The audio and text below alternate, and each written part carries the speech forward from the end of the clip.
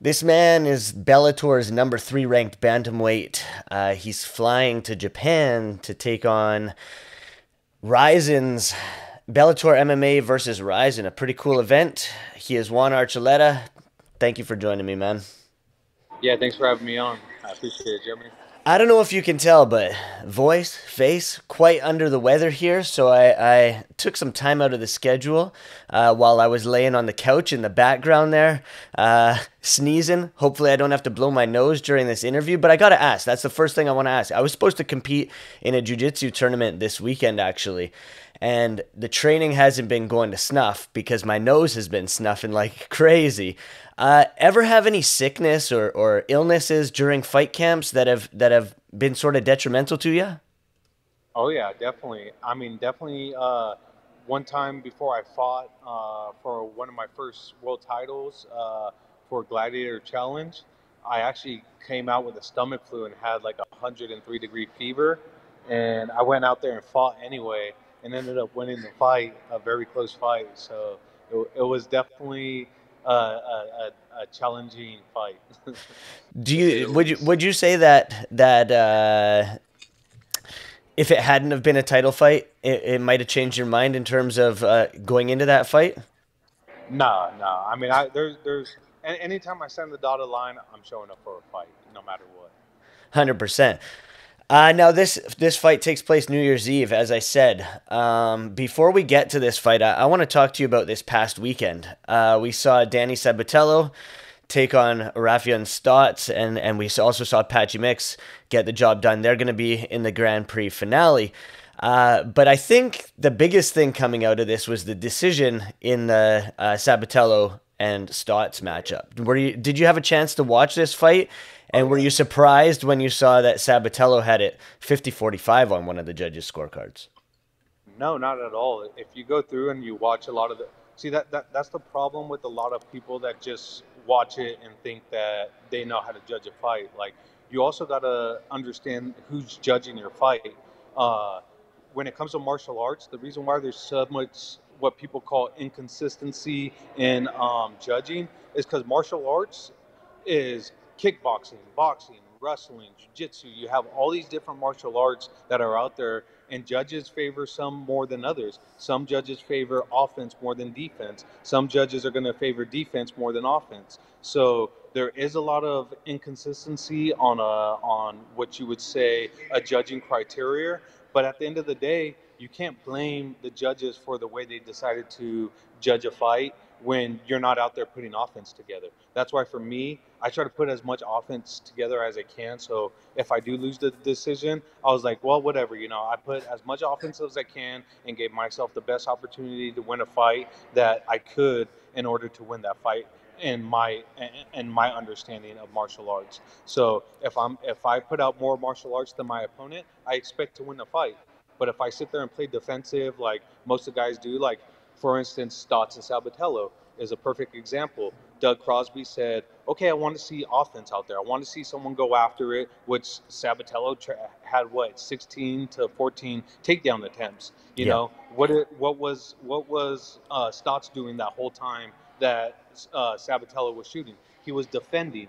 So, are you going to reward a defensive team for stopping something and then Sabatello gets more takedowns than Stots, has more control time than Stots, you know, and uh, you know, then you start looking at the punch count. Okay, then you start judging the punch count. Okay, well, Sab- Stots had more uh, a higher punch count than Sabatello. That's why the other judges have gave it to Stots. So that's why you know you can't really blame the judging at all. All Stott, all Sabatello had to do was punch five times every 20 seconds, and he would have won the fight with the control.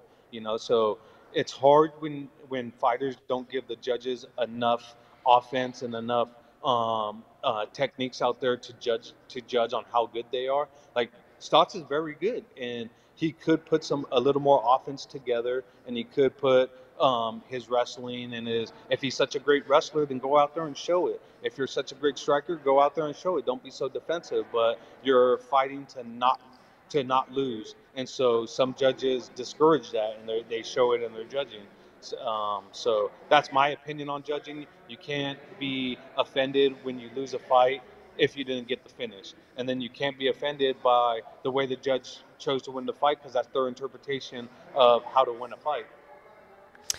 How did you score the fight then?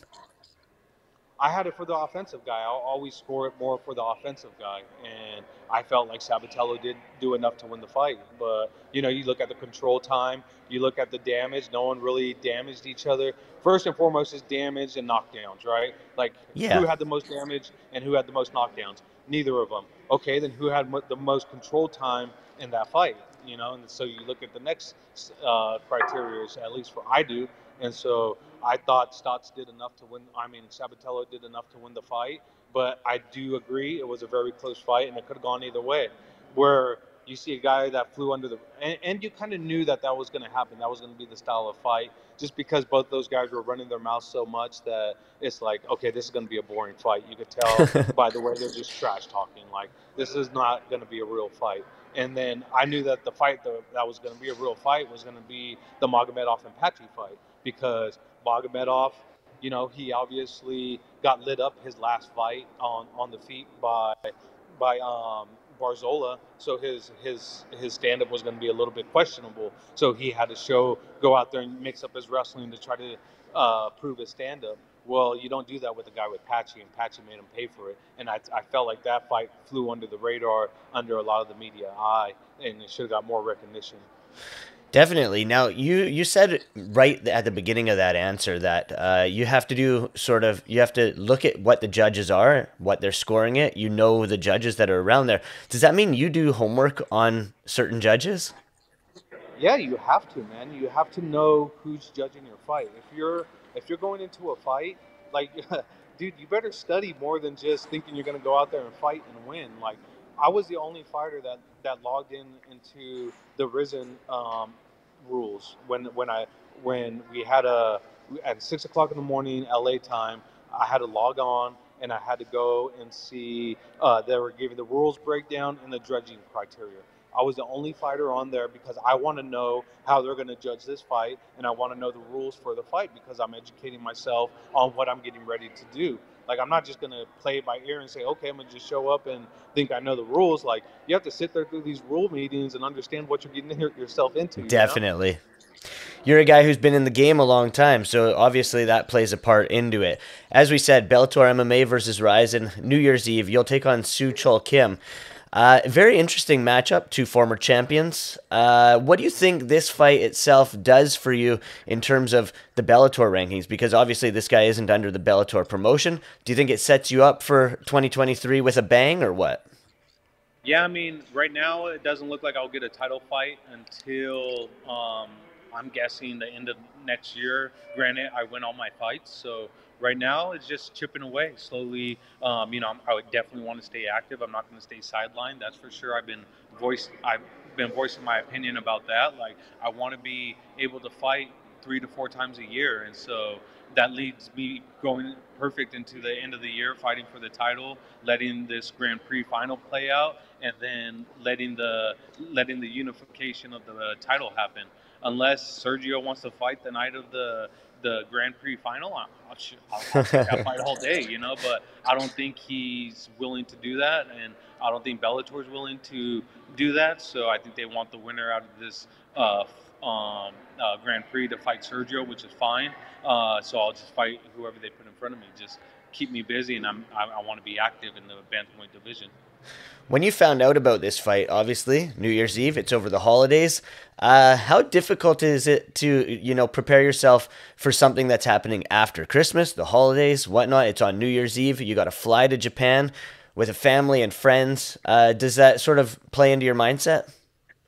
No, man, I'm, I'm I'm actually leaving this Monday out there, and so my whole family's coming with me. I'm super excited. When I heard the news that I was going out there, I was stoked. I was ecstatic. I wanted to fight for Rizin for quite some time since I started my career in King of the Cage, and every year I would uh, I would reach out to Terry Trebilcock, who runs uh, King of the Cage, and I was asking, "Hey man, can you put me on the Rizin card? Can you put me on the Rizin card?" And he would try and try and try and kept getting turned down. Well, now there's no denying it. Now I'm going finally going out there and having my opportunity, and I'm gonna take uh, the utmost respect and, and eagerness towards it and go put on a performance for the fans because this is where you leave a mark in history of sports. You know, not only are we going to be the first promote, the first two promotions to go promoter against promoter and fighter versus fighter, but uh, I get to do what I've always wanted to do, and that's go in Japan and put on a performance and get to show pay homage to the warriors that came before me. So I'm super excited on that. Definitely. It's got to be super cool to fight in the Saitama Super Arena. It's obviously where, you know, all the big promotions back in the day happened, uh, the Pride Grand Prix and all that kind of stuff. So it's got to be sort of surreal to be able to fight in there. You said you're heading out next Monday. Uh, that's obviously to get acclimated and whatnot. Uh, do you plan on, you know, rummaging around Tokyo or, or around Japan before, you know, getting set on the ground and, and ready to fight? Um, so when we went and promoted the fight, I got to do that first and foremost. And nice. Understand the culture, understand the Bushido code, and understand, you know, just the people there and what they're looking for. And I have a great idea. And I even got to walk in a couple of the gyms and train with some Japanese fighters out there. You know, just walk in and say, "Hey, can I train?" They're like, "Hell yeah, let's do it!" So got to get a feel for the Asian style of martial arts. So I'm super excited to go forward and leave my mark there. I know this is going to be a busy media day for you. I'll ask you the one question that everybody else is going to ask you to end this thing off. New Year's Eve, how do you get your hand raised?